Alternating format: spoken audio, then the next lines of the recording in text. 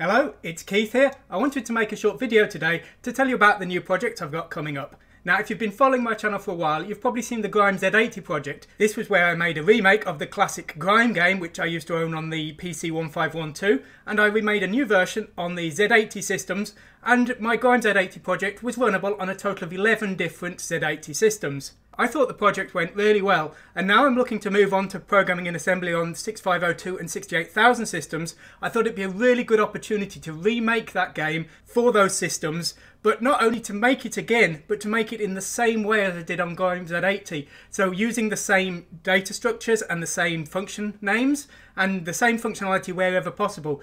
So this would mean that not only would a beginner be able to compare those games and see how the same functions were done on each system, but also what we will end up with is a common game engine that can be converted for new projects in the future using that simple foundation of a graphics subsystem and an input subsystem, basic sound systems, so that you'll have a really good place to start making a new game for three different processors and a large number of different systems. So, last time I covered a total of 11 different systems, so what am I going to do this time?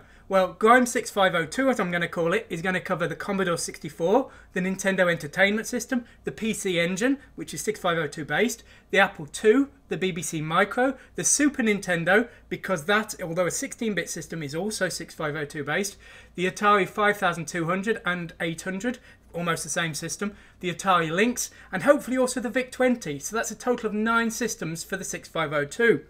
On the 68000 systems, I'll be covering the Atari ST, the Commodore Amiga, the Neo Geo, the Sega Genesis, and the Japanese X68000 by Sharp. So that's an extra 14 systems added to the existing 11, so Grime will hopefully be running on a total of 25 systems at the end of this project. So when's this project coming? Well, my employer is actually breaking up really early for Christmas this year, so I've got quite a long holiday. So what I'm going to be doing is I'm going to be doing two seven-day programming stretches one on the 6502 systems and one on the 68000 series systems. So I'm going to be calling this the 14 Days of GrimeMass because it's 14 days of Grime assembly. The first episode will be uploaded on the 19th. If you're a Patreon backer, they'll be uploaded as soon as I've made them. If you are watching me on YouTube, they'll be uploaded once a week on a Wednesday from then onwards. So however you see the videos, I'm hoping you follow this series because hopefully the result will be a nice little game that everyone can enjoy and more importantly, that everyone can learn from.